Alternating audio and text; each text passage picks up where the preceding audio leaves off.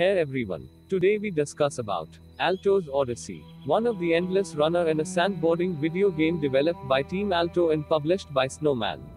It was released in 2018 for iOS and Android. It is the sequel to Alto's Adventure.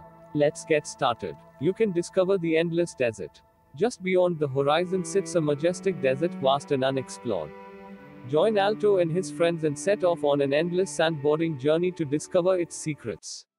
Soar above windswept dunes, traverse thrilling canyons, and explore long hidden temples in a fantastical place far from home. Along the way, you'll grind across vines, bounce atop hot air balloons, ride towering rock walls, and escape mischievous lemurs, all while uncovering the desert's many mysteries.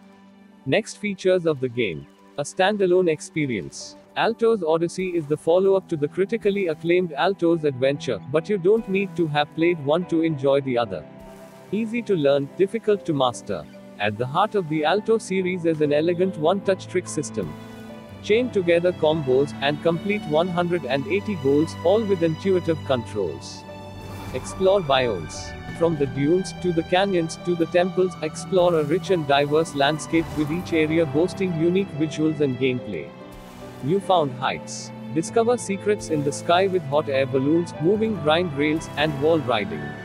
Master the elements. In addition to dynamic lighting and weather effects like sandstorms and shooting stars, the desert is home to swirling wind vortexes and rushing water.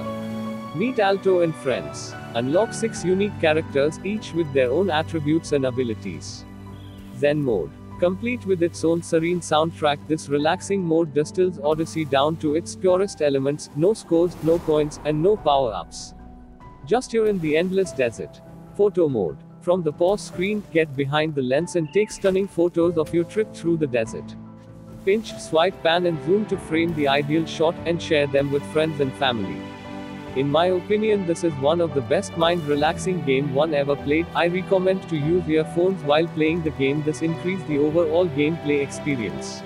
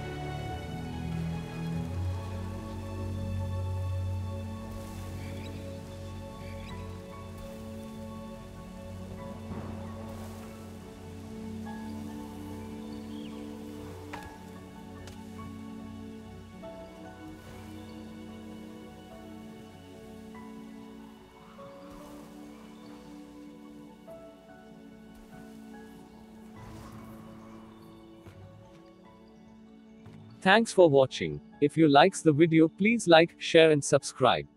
Stay curious.